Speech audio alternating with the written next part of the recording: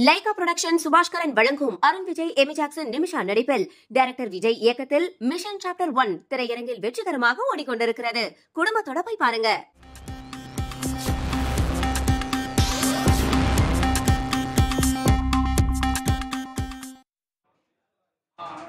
பெருஞ்செய்திக்கு வரவேற்கிறோம். மூத்த பத்திரிகையாளர் திரு தராசு ஷியாம் நிகழ்ச்சியின் விருந்தினராக இணைந்திருக்கிறார். சார் வணக்கம். வணக்கம். பத்தாண்டு காலமாக பாஜக தமிழ்நாட்டிற்கு செய்த துரோகத்தை அம்பலப்படுத்துவோம் அப்படின்னு திரு ஜெயக்குமார் பேசியிருக்கிறாரு. தூக்கத்தில் எழுப்பி கேட்டாலும் பாஜகவுடனான கூட்டணி இல்லை அப்படின்னு சொல்லியிருக்கிறாரு. தேர்தல் நேரத்தில் பாஜகவுடைய மத்திய அரசுடைய மக்கள் விரோத செயல்களை நாங்கள் அம்பலப்படுத்துவோம் அப்படின்னு சொல்லியிருக்காரு. பாஜகவுடைய உரட்டல் உருட்டல் மிரட்டலுக்கெல்லாம் நாங்கள் பயப்பட மாட்டோம் அப்படின்னு திரு ஜெயக்குமார் பேசியிருக்கிறார். தமிழ்நாட்டுக்கு பாஜக துரோகம் செய்திருக்கிறது அதை அம்பலப்படுத்துவோம் அப்படின்னு திரு ஜெயக்குமார் பேசியதன் பின்னணி என்ன நோக்கம் என்ன அப்படிங்கிறத இன்றைய பெருஞ்செய்தியின் பேசுபொருள். ஐந்து கேள்விகளாக வடிவமைச்சிருக்கிறோம். முதல் கேள்வி பாஜகவுடைய எதிர்ப்பை கூர்மைப்படுத்துவதற்காக திரு ஜெயக்குமார் இப்படி சொல்லலாமா? கூட்டணி முறிவுக்கு பிறகு பாஜக எதிர்ப்பு நிலை அப்படிங்கிறதுல இன்னும் கொஞ்சம் கூர்மை தேவைன்னு அதிமுக உணர்ந்து இது மாதிரியான ஸ்டேட்மெண்ட்டை தொடர்ந்து சொல்றாங்கன்னு புரிஞ்சுக்கலாமா? அப்படித்தான் புரிந்து கொள்ள வேண்டும். காரணம் தமிழ்நாட்டில் இரண்டு வகையான எதிர்ப்பு ஓட்டு வங்கிகள் உருவாகின்றன. ஒன்று திமுக எதிர்ப்பு ஓட்டு வங்கி இயல்பாக அது அதிமுகவுக்கு போக வேண்டியது. இன்னொன்று பாரதிய ஜனதா எதிர்ப்பு ஓட்டு வங்கி. அதை முழுமையாக அறுவடை செய்ய திமுக முயற்சிக்கும் போது பாரதிய ஜனதா எதிர்ப்பை கூர்மைப்படுத்துவதன் மூலமாக அதன் ஒரு பகுதியை அதிமுக பெறலாம். அதே போல திமுக எதிர்ப்பையும் வந்து பாரதிய ஜனதா கூர்மைப்படுத்துகிறது திமுக எதிர்ப்பு ஓட்டு வங்கியின் ஒரு பகுதியை பெற வேண்டும் என்பதும் அதன் நோக்கமாக தெரிகிறது. பொதுவாக அரசியலே அப்படித்தான். ஒரு காலகட்டத்தில் வந்து கம்யூனிஸ்ட்கள் இருந்தாங்க. காங்கிரஸ் இருந்தது. காங்கிரஸ் எதிர்ப்பை தான் வந்து திமுக கூர்மைப்படுத்தியது. காங்கிரஸ் எதிர்ப்பை கூர்மைப்படுத்தியதன் மூலமாக பொது உடைமை சித்தாந்தம் மீது பற்று கொண்டவர்களின் ஓட்டு வங்கியும் பெற முடிந்தது. காங்கிரஸ் எதிர்ப்பாளர்களின் ஓட்டு வங்கியும் பெற முடிந்தது. அப்படித்தான் அறுபத்தி ரெண்டுல வந்து ஐம்பது இடங்களை திமுக பிடித்தது. அறுபத்தி ஏழுல வந்து ஆட்சி அமைத்தது. எதிர்ப்பு ஓட்டுகளை கூர்மைப்படுத்துவது அல்லது பெற முயற்சிப்பது என்பது வாக்கு அரசியலின் ஒரு பகுதி தான் தமிழ்நாட்டை பொறுத்த வரைக்கும் சட்டமன்றமோ நாடாளுமன்றமோ அதிமுக திமுகங்கிற இருதுருவ அரசியல் தான். திமுக எதிர்ப்பு வாக்கு அதிமுக எதிர்ப்பு வாக்கு. இதை பரஸ்பரம் பெற்றுக்கொள்வதில் தான் முனைப்பு இருக்கும். மக்களும் அப்படி தான் வாக்களிப்பார்கள். பாஜக எதிர்ப்பு வாக்கு இல்லை பாஜக வாக்கு அப்படின்னு ஒன்றுமே இல்லை அப்படின்னு நேற்று விவாதத்தில் சொல்லப்பட்டது. ஆனால் நீங்கள் பாஜக எதிர்ப்பு வாக்கு அப்படின்னு ஒன்று சேர்த்தும் சொல்கிறீங்களே பாஜக எதிர்ப்பு வாக்கு இருக்கிறது. அது ஒரு காலகட்டத்தில் மிக அதிகமாக இருந்தது. இப்போது நரேந்திர மோடி எதிர்ப்பு வாக்கு என்பதையும் நீங்க பாஜக எதிர்ப்பு வாக்காகத்தான் நீங்க எடுத்துக்கொள்ள வேண்டும். திரு அண்ணாமலை அவர்கள் மாநில தலைவரான பிறகு மூலை முடுக்குகளிலே வந்து அவரது பெயர் தெரிகிறது என்பதை யாராலும் மறுக்க முடியாது. பல கிராமங்களில் நான் வந்து பாரதிய ஜனதா கொடிக்கம்பங்களை பார்க்கிறேன். ஏற்கனவே நகராட்சி தேர்தலில் தனியாக நின்று ஆறு சதவீதம் ஓட்டு வாங்கி இருக்கிறார்கள் இப்போது அது இன்னமும் கூடி இருக்கும் எனவே இயல்பாகவே பாரதிய ஜனதா எதிர்ப்பு வாக்கு வங்கி என்று ஒன்று உருவாகும் உருவாகி இருக்கும். அதை பெறுவது ஒரு நோக்கம்தான். சரி. இரண்டாவது கேள்வி கூட்டணி தொடர்பாக பாஜகவுடைய மௌனத்தை கலைப்பதற்காக திரு ஜெயக்குமார் இப்படி பேசியிருக்கலாமா? கூட்டணி முறிஞ்சாச்சு.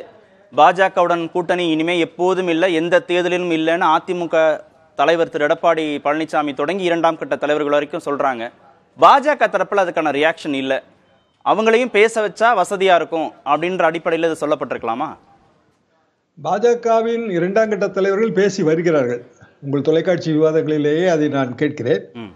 அண்ணாமலை அவர்கள் கூட பல நேரங்களில் வந்து அதிமுகவுக்கு எதிரான கருத்துக்களை எல்லாம் கூறித்தான் வருகிறார். ஆனால் திரு நரேந்திர மோடி அவர்களோ அல்லது பாரதிய ஜனதாவின் தேசிய தலைவர்களோ அவ்வாறு சொல்ல வேண்டும். ஏனென்றால் ஒரு தேசிய கட்சி என்ற முறையில் அதைத்தான் வந்து எதிர்பார்ப்பார்கள். ஒரு காலகட்டத்தில் வந்து எம்ஜிஆர் அவர்கள் கட்சி துவங்கும் போது வருமான வரித்துறையை விட்டு இந்திரா காந்தி திமுகவை உடைக்கிற உடைக்கிற முயற்சியில் இருக்கிறார் என்பதுதான் கலைஞர் வைத்த குற்றச்சாட்டாக இருந்தது. இப்போதும் அதே மாதிரியான குற்றச்சாட்டுகளை தான் நாம் பார்க்கிறோம். அடிப்படையில் இதில் புரிந்து கொள்ள வேண்டியது என்னவென்றால் இந்த எதிர்ப்பு என்பதை ஒருமுனைப்படுத்தும் போது எதிர்ப்புக்கான குறியீடுகளையும் வந்து சேர்த்து பார்க்க வேண்டும். காங்கிரஸ் எதிர்ப்பை ஒருமுகப்படுத்தும் போது காங்கிரஸ் கட்சி கதர் அணிந்து வந்தது. அதற்கு மாற்றாக வந்து கைத்தறியை தேர்ந்தெடுத்தார் அண்ணா. அந்த கைத்தறி துணிகளைத்தான் வந்து அன்றைய திமுகவினர் வந்து மேடைகளிலே அணிவார்கள். கைத்தறி நெசவாளர்களுக்காக வந்து பல பணிகளை புரிவார்கள். இப்ப திமுக ஆதரவு படங்களில் கலைஞர் வசனம் எழுதுகிற படங்களில் கூட நீங்கள் பார்த்தீர்கள் என்றால் சின்ன சின்ன இலை பின்னி பின்னி வரும் கைத்தறி சேலை இப்படி எல்லாம் வரும். இது என்னவென்றால் குறியீடுகளையும் சேர்த்து கூர்மைப்படுத்துதல். அப்படி குறியீடுகளையும் சேர்த்து கூர்மைப்படுத்தும் போது இது மாதிரியான விளைவுகளை நாம் எதிர்பார்க்கலாம். அதிமுக தொடர்பா?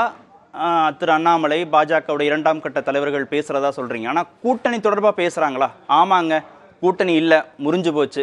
எங்கள் தலைமையில் ஒரு புதிய கூட்டணியை நாங்கள் கட்டமைக்க போகிறோம் எந்த சூழலிலும் அதிமுகவுடனான கூட்டணி இல்லை. அந்த வார்த்தைகள் வருதா? அது ஏன் வரவில்லை என்றால் வாக்கு அரசியலிலே கடைசி நேரம் வரைக்கும் ஒரு எதிர்பார்ப்பு இருக்கும். இப்போ நிதிஷ்குமார் இந்தியா கூட்டணியின் ஸ்தாபகர் கிட்டத்தட்ட. அவர் தான் வந்து கன்வீனர். அவர் தான் இங்கே சென்னை வரைக்கும் வந்தார். எல்லா எதிர்க்கட்சிகளையும் மாநில கட்சிகளையும் எல்லாம் ஒன்றிணைத்தார். அவரே வந்து பாரதிய ஜனதா கூட்டணிக்கு போவார் என்று யாரும் எதிர்பார்த்திருக்கவே மாட்டார்கள். கடைசி நேர மாறுதல்களுக்கு உட்பட்டது தான் கூட்டணி அரசியல். இப்போதே வந்து அந்த கூட்டணியை ஒரு நாளைக்கு வந்து அந்த கூட்டணி துயரப்படுத்துகிற நிலைமைக்கு வந்து பொதுவாக ஒரு முதிர்ந்த அரசியல்வாதிகள் செல்ல மாட்டார்கள். அதிமுக முற்றுப்புள்ளி வச்சிருச்சுல்ல? பாஜக முற்றுப்புள்ளி வைக்கிறதுல என்ன சிக்கல் இருக்கு? இல்ல அதிமுக முற்றுப்புள்ளி வைத்து விட்டது என்றாலும் கூட பாரதிய ஜனதாவிலே போட்டியிட்டு வெற்றி பெற வேண்டும் என்று நினைப்பவர்களுக்கு அதிமுக ஓட்டு அவசியம் தேவை. அது நாகர்கோவில் மாதிரியான பாரம்பரிய பாரதிய ஜனதா ஓட்டு வங்கி உள்ள தொகுதிகளுக்கு கூட அதிமுக ஓட்டு அவசியம் தேவை. கோயம்புத்தூர் மாதிரி பாரம்பரிய பாரதிய ஜனதா ஓட்டு வங்கி உள்ள தொகுதிகளுக்கு கூட அதிமுக ஓட்டு அவசியம் தேவை. அதில் போட்டியிட விரும்புகிற தலைவர்கள் அவர்களுக்கு வந்து அதிமுக கூட்டணி தேவை அதிமுக எப்படியாவது வரட்டும் என்கிற எண்ணம் இருக்கும். இதே மாதிரியான எண்ணம் அதிமுகவிலும் இருக்கிறது. சுருக்கமாக சொன்னால் பாரதிய ஜனதாவில் அதிமுக ஆதரவு இருக்கிறது அதிமுகவில் பாரதிய ஜனதா ஆதரவு. இருக்கிறது. எனவேதான் கூட்டணியை பற்றி அந்த விமர்சனங்கள் எழுவதில்லை. சரி. மூன்றாவது கேள்வி. பாஜக உறவு பற்றிய திமுக விமர்சனத்தை தவிர்ப்பதற்கு திரு ஜெயக்குமாருடைய இந்த பேச்சு உதவும் அப்படின்னு யோசிக்கலாமா? கூட்டணி முறிஞ்சாலும் பாஜக அதிமுக இடையே ஒரு ரகசிய உறவு இருந்து கொண்டே இருக்கு. தேர்தலுக்கு பிந்தைய கூட்டணியாக அது மாற வாய்ப்பு இருக்கு அப்படின்னு திமுக தலைவர் தொடங்கி திமுக கூட்டணி தலைவர்கள் வரைக்கும் விமர்சிக்கிறாங்க. அதை தவிர்ப்பதற்கு மில்ல மட்டுப்படுத்துவதற்கு வீரியத்தை குறைப்ப குறைக்க ஜெயக்குமார் இப்படி பேசியிருக்கலாமா?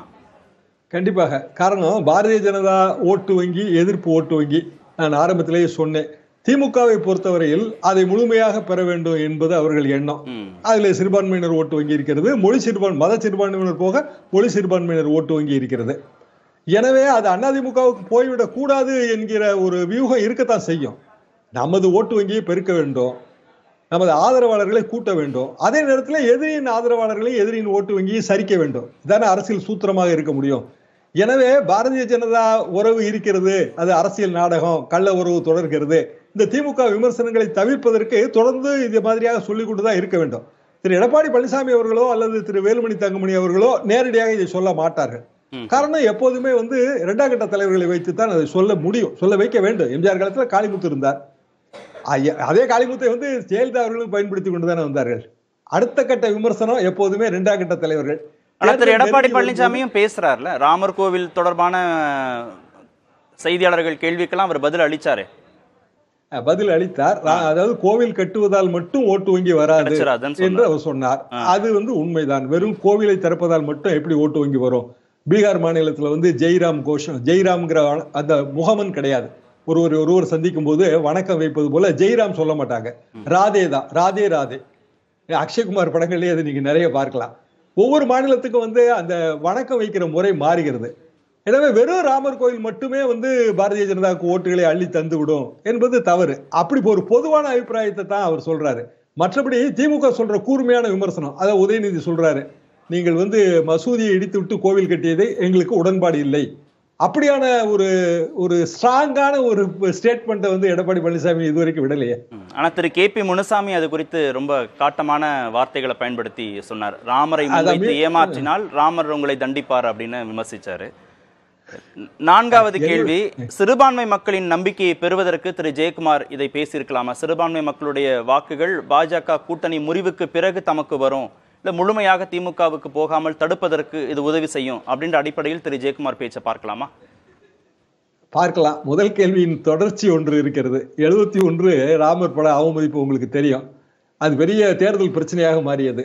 ஆனால் சேலத்தில் வெற்றி பெற்றது ரெண்டு ராமன்கள். ஒன்று ராஜாராமன் இன்னொன்று ஜெயராமன். எனவே ராமர் கோவில் மட்டும் ஓட்டு வங்கியாக மாறாது என்பது ஒரு பொது கருத்து. அதே நேரத்தில் அதை வந்து வைத்து சிறுபான்மை மக்களின் நம்பிக்கையை பெறுவதற்கான ஒரு முயற்சி நடக்கத்தான் செய்யும். காரணம் அவர்களுக்கு வந்து மசூதி இடிப்பு என்பதிலே ஒரு மன வலி இருக்கும். இத்தனைக்கும் வந்து அயோத்தியில் இன்னொரு மசூதி பிரம்மாண்டமான அளவிலே கட்டப்படுகிறது. ஆனாலும் ராமர் கோயில் முதலில் திறப்பு விழா அது குறித்த இவ்வளவு பெரிய ஏற்பாடுகள் லைவ் அந்த பெரிய எல்சிடி ஸ்கிரீன் வைத்து ஒளிபரப்புவது இதெல்லாம் வந்து உள்ளூரில் இருக்கிற சிறுபான்மை மக்களுக்கு ஒரு வருத்தமாகத்தான் இருக்கும். எனவே அந்த நம்பிக்கையை பெறுவதற்கு இது ஒரு வழிதான். அது ஆனால் எந்த அளவுக்கு வரும் என்பதில் எனக்கு தனிப்பட்ட முறையில் சந்தேகம் இருக்கிறது. ம். ஆனா சிறுபான்மை மக்களுடைய வாக்குகள் பெறுவதில் அதிமுகவுக்கு இருந்த சிக்கல் நீங்கிருச்சா தொடருதா? எஸ்டிபிஐ போறாங்க தமிமுன் அன்சாரி அந்த பக்கம் போயிருக்காரு எடப்பாடி பக்கம் போயிருக்காரு. அந்த நம்பிக்கை அவங்களுக்கு இருக்கு. வாக்குகள் வந்துரும் சிறுபான்மை மக்கள் வாக்குகள் வந்துரும்னு. கள யதார்த்தம் என்னவா இருக்கு? சிறிய அளவிலான ஓட்டு வங்கி உள்ள இஸ்லாமிய அமைப்புகள் என்று தான் நீங்கள் அதை சொல்ல வேண்டும். ட்ரெடிஷனலான முஸ்லீம் பார்ட்டி அது வந்து முஸ்லீம் லீக். அதாவது கண்ணியத்துக்குரிய காயிதே மில்லத் காலத்திலிருந்து நீங்கள் அப்துல் லத்தீஃப் காலத்திலிருந்து அதை நீங்கள் எடுத்து பார்க்கலாம். அது வந்து எப்போதுமே வந்து திமுக பக்கம் தான் இருக்கிறது. ஒன்று. இரண்டாவது கிறிஸ்தவர்கள் ஓட்டு வங்கி. ஒரு பதிமூன்று சதவீத ஓட்டு வங்கி கண்டிப்பாக இருக்கிறது. இந்த பதிமூன்று சதவீதத்தில் எவ்வளவுதான் முயற்சி செய்தாலும் அதிமுகவுக்கு ரெண்டு சதவீதத்துக்கு மேல் கிடைப்பதே இல்லை. அதாவது எம்ஜிஆர் காலத்துல இருந்த சிறுபான்மையினர் ஓட்டு வங்கி ஜெயலலிதா காலத்திலே இல்லாம போயிருச்சு. ம். தொண்ணூத்தி எட்டுல வந்து முதல் முதலில் பாரதிய ஜனதாவோட கூட்டணி வைக்கும் போதே அந்த ஓட்டு வங்கி இழப்பு இருந்தது. இப்ப ரெண்டாயிரத்தி நாலில் மீண்டும் வந்து அந்த ஓட்டு வங்கி இழப்பு அதிகப்பட்டது. தொண்ணூத்தெட்டுல கூட்டணி வைக்கும் போது பாபர் மசூதி இடித்ததற்கு பிறகு என்பதை நீங்கள் சேர்த்து பாருங்கள். ரெண்டாயிரத்தி நாலு வாஜ்பாய் பிரதமர் கிட்டத்தட்ட அனைவராலும் ஏற்றுக்கொள்ள தகுந்த ஒரு தலைவர். அது ரெண்டாயிரத்தி பதினான்கில் தான் மோ- மோடியா லேடியா கேள்வியெல்லாம் அது கூட தேர்தலுக்கு மூணு நாளைக்கு முந்தி தான் வாக்குப்பதிவுக்கு சரியாக மூணு நாளைக்கு முன்னாடி தான் மோடியா லேடியாங்கிற அந்த ஈக்குவேஷனை வந்து ஜெயலலிதாமா பிரச்சாரத்துக்கு பயன்படுத்தினார்கள் இவர்களும் தேர்தல் வாக்குப்பதிவுக்கு முன்னால் இது மாதிரியான கூர்மையான ஆயுதங்களை பயன்படுத்துவார்கள் என்பதுதான் என் கருத்து. ஐந்தாவது கேள்வி மாநில உரிமையில் அதிமுக நிலைப்பாட்டை தெளிவுபடுத்த திரு. ஜெயக்குமார் சொல்லியிருக்காமா பத்தாண்டு காலம் தமிழ்நாட்டுக்கு செய்த பாஜகவுடைய துரோகத்தை அம்பலப்படுத்துவோன்றாரு. மாநில உரிமையை பாஜக பாதிக்குது நிதி கொடுக்கலன்னு திமுக வைக்குது. அதுக்கு எதிர்வினையாற்ற வேண்டிய கட்டாயம் அதிமுகவுக்கு இருக்கு இந்த பேச்சின் மூலமாக அப்படின்னு புரிஞ்சுக்கலாமா? மாநில உரிமைகளை எப்போதுமே மத்திய அரசு மதிப்பதே இல்லை என்பதுதான் என் கருத்து. நெஞ்சுக்கு நிதியில் கலைஞர் வந்து ஆயிரத்தி தொள்ளாயிரத்தி அறுபத்தி ஒன்பதில் ஒரு வறட்சி நிவாரண நிதி அன்றைய நிதியமைச்சர் மொராய் தேசாயிடம் நான் கேட்க சென்றேன். இவ்வளவு நிதி கொடுப்பதற்கு நான் என்ன தோட்டப்புறத்திலே வந்து பணங்காட்சி மரமா வைத்திருக்கிறேன் என்று நிதியமைச்சர் கூறினார். நான் அதிர்ச்சியின் உச்சத்திற்கே போனேன் என்று நெஞ்சுக்கு நிதியில் பதிவு செய்திருக்கிறார். எம்ஜிஆர் அவர்கள் மன்மோகன் சிங் நிதிக்குழுவின் தலைவராக இருக்கும்போது அவர் நிதி கேட்டு சத்துணவுக்கு நிதி கேட்டு மன்மோகன் சிங் மறுத்து எம்ஜிஆர் கோவப்பட்டு வெளியே வந்து அதற்கு பிறகு ராஜீவ்காந்தி சமாதானப்படுத்திய கதையெல்லாம் இருக்கிறது. பொதுவாகவே வந்து மத்திய அரசு மத்திய அரசே சில திட்டங்களை நிறைவேற்ற வேண்டும். நேரடியாக மத்திய அரசுக்கும் மக்களுக்கு இடையே ஒரு பாலை ஏற்படுத்த வேண்டும். இந்த முயற்சி எல்லா கட்சிகளும் செய்கின்றன. காங்கிரசும் விதிவிலக்கல்ல எனவே மாநில உரிமைகளை பாலடிப்பதில் யார் முந்தியவர்கள் யார் ரொம்ப பாலடித்தார்கள் என்ற கேள்வியை நீங்கள் வைத்த வைத்தீர்கள் என்றால் ரெண்டுமே ஒரே தட்டு தான் பாரதிய ஜனதாவும் சரி அல்லது. வந்து காங்கிரஸும் சரி.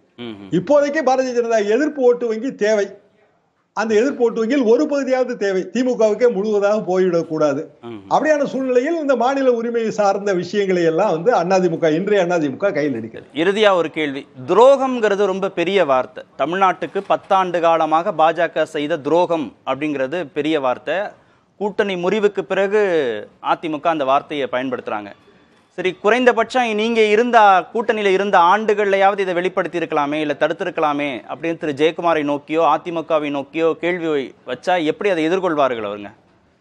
எதிர்கொள்ள முடியாது. அப்போது அவர்கள் ஆட்சியில் இருந்தார்கள். இன்னும் சொல்ல போனால் ஆட்சி நீடிப்பதற்கே நாங்கள் தான் காரணம் என்பதுதான் பாரதிய ஜனதாவின் நிலைப்பாடு. நமக்கே தெரிந்த விஷயம்தான். ஆளுநரே வந்து ஓபிஎஸ் டிபிஎஸ் இருவரின் கைகளையும் பிடித்து உயர்த்தி பிடித்து அந்த இணைப்பெல்லாம் நடந்ததெல்லாம் நம்ம பணக்காட்சியில் பார்த்தது தான் உங்களது தொலைக்காட்சியின் லைவ் நிகழ்ச்சியில் அப்போதே நான் கலந்து கொண்டிருக்கிறேன். ஆக பிரிக்க தெரிந்தவர்கள் இணைக்க தெரிந்தவர்கள் இப்படி ரெண்டு ரகம். இணைக்க தெரிந்தவர்களுக்கு பிரிக்கவும் தெரியும். எனவேதான் துரோகம் என்கிற கடினமான வார்த்தை பயன்படுத்தப்படுகிறது. ஒருவேளை நாளை பிற மாநிலங்களில் செய்வது போல பாரதிய ஜனதா அதிமுகவை பிளப்பதற்கு நினைத்தால் துரோகம் என்கிற வார்த்தை பொருந்தும் அல்லவா? எனவே கடுமையான வார்த்தைகளை ஆரம்பத்திலேயே பிரயோகம் செய்கிறார்கள் இரண்டாம் கட்ட தலைவர்கள். நன்றி நிகழ்ச்சியில் பங்கேற்றதற்கு.